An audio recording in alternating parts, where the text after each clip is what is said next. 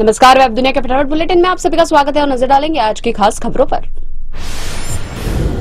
Australia दौरे पर गए पीएम मोदी ने मंदिरों पर हो रहे हमलों का मुद्दा उठाया। पीएम ने कहा कि ऑस्ट्रेलिया में मंदिरों पर होने वाले हमलों और अलगाववादी तत्वों की गतिविधियों को बर्दाश्त नहीं किया जाएगा।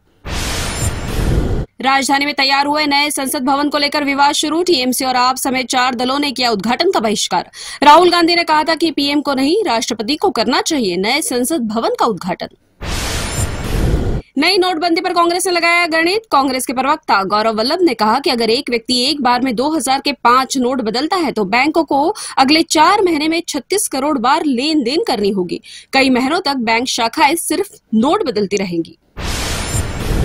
रूसी हीरे पर बैन लगाने से भारत में 10 लाख लोगों के रोज़गार पर संकट की अटकलें सामने आ रही है। दरअसल हाल ही में जी सेवन समिट के बाद संयुक्त रूस के हीरे पर बैन लगाने का ऐलान किया गया था। फैसले से भारत में बुरा असर हो सकता है।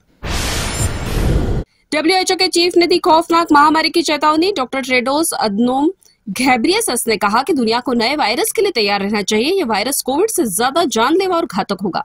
इस महामारी में जा सकती है दो करोड़ लोगों की जान। किश्तवाड़ के पास फिसलकर खाई में गिरी गाड़ी, सात लोगों की मौत, जबकि एक गंभीर रूप से घायल।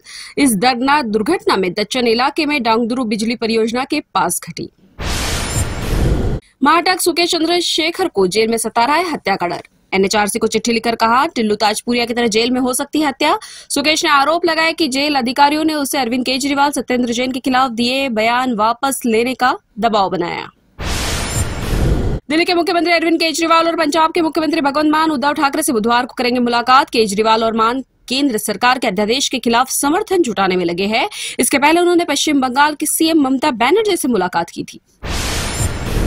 दिल्ली वासियों को अगले कुछ दिनों तक तेज गर्मी से राहत मिलेगी। आईएमडी की तरफ़ से 24 और 25 मई को बारिश के लिए येलो अलर्ट जारी किया गया। इससे बीते कुछ दिनों में 40 डिग्री के पार चल रहे तापमान से भी राहत मिलेगी। पाकिस्तान के विदेश मंत्री शाह महमूद कुरैशी जेल से छूटने के बाद फिर गिरफ़्तार, उन पर लगा हिंसा, भड़काने का आरोप। उन्हें मंगलवार को एक शीर्ष अदालत के आदेश पर रावलपिंडी की जेल से रिहा किया गया था। ये थी फटाफट बुलेटिन और ताज़ा अपडेट के लिए लगातार बने रहिए हमारे साथ, यानी कि विज़िट कीजिए वेब दुनिया पर।